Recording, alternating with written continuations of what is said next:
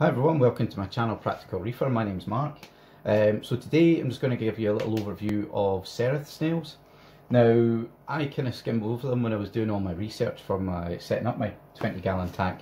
Um, so I, I, very very much wanted the, the trochus snails. When you go online and read about them it's probably sort of number one snail. Um, they're pretty much they're, they're really good eaters and they'll breed in your tank and hermits will, will have a hard time of uh, giving them abuse as well. But when I went to my LFS and my ugly stage had already started, um, I had brown diatoms all over the tank and the, the green hair algae was starting to grow as well.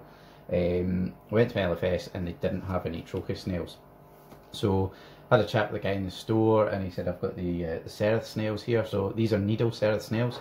Um, and obviously advised me that they were, they're good little snails and they, they do a bit of everything. Now kind of very similar. Similar. I kind of had a look on uh, Barn's website as just a, a, bit of reference to get a bit more information for myself as well. Um, and they're very, very similar to trochus snails and what they can do. Now, both trochus snails and cerith snails um, will eat sort of uh, diatoms and cyano better than most other snails. Um, and they'll also eat sort of hair and film algae and detritus. And uh, the ceriths will eat particles off of the, the sand bed or in the sand bed as well. Um, what I find as well though with the cerith snails, they're actually a little bit smaller. So say this one that's on the, the rock work here, he's actually come through the little hole at the back, um, which is quite a tight little space, and then come through and started working on this piece of rock. There's nowhere in my tank that the cerith snails can't go. Um, so they're, they're pretty good like that. They have got caught a couple of times, there's, there's a couple of little gaps um, where they've managed to get themselves wedged, so I do have to keep a little eye on them on occasion. Um, they will breed in your tank as well, so I've got myself 10 in here, so hopefully at some point they'll start to breed if there's enough food for them and they're, they're, they're um, happy enough. Um, what you also won't quite see is at the back here, there's one on the sand bed, um, you just see in the reflection in the glass, but actually further forward tighter into this rock, there is one of my cerith snails is basically totally submerged in the sand, I can just see the top of his shell. I'll show you that in a, a little minute. Um, but yeah, great all-round snails, eat pretty much everything. Now I was maybe a little bit late in putting them in, so some of the green hair algae already started to sprout and it's, it's got a bit of length to it. So, But any of the small bits that are starting to appear on the rockwork, they're, they're dealing with that. So there doesn't appear to be any more green hair algae coming, but I think when it's uh, when it's a couple inches long, then it's a bit bit too late for the ceriths to deal with that.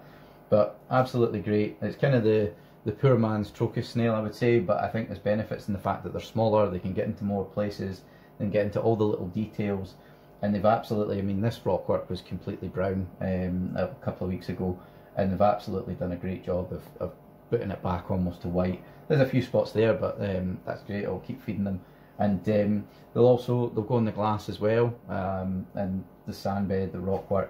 So the the glass probably isn't maybe their favourite place, but I'll zoom in and I'll, I'll let you see them all. Um, they also like the occasional pull up. Um, got a little video of one doing it almost like a little pull up under the arch there. I'll show you that in a second, but I'll zoom in and I'll let you see them.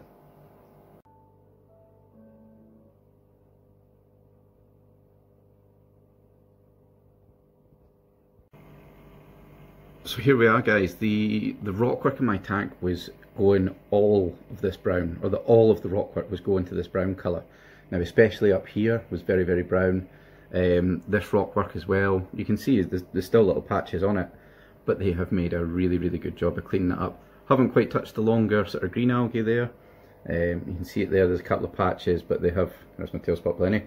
Um, they really, really have, this is sort of the last untouched bit, which I did try to put some of them off, but they actually kind of rolled off when I, I tried to get them on some of the little ledges and then let them set off, but a few of them rolled off of there, because um, that was that was my worst affected bit and they've kind of they've come to it last.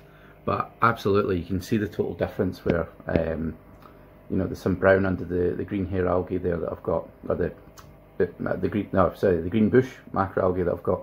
Um, but yeah, they definitely they're making a huge difference. A lot of this rock was all brown, and this piece was all brown as well. So they have made a really really good uh, good go at it. They've just missed some of the bits in the middle because they just kind of meander wherever they want to go. But really, really good. Um, they are going up on the glass as well. They're not really big on the glass, and I have kind of left the algae a little bit for some food for them.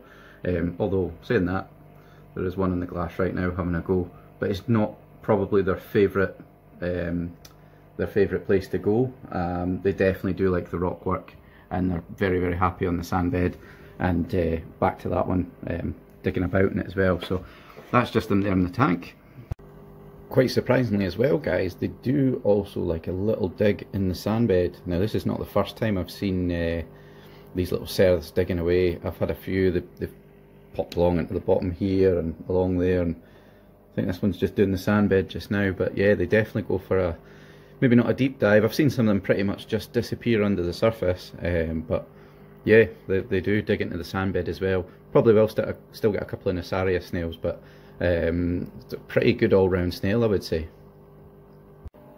this one as well guys he's uh, I think he's been over and given the GSP a little bit of a clean or at least knocked it with his shell but uh, it's closed that but it's opening back up now but yeah, great little snails. I hope you enjoyed the video, guys. Give me a little like and subscribe below. Give me a little comment. Have you used the Ceriths before? What do you think of them? Any any good or bad points? But let me know below, and I'll catch you all next time.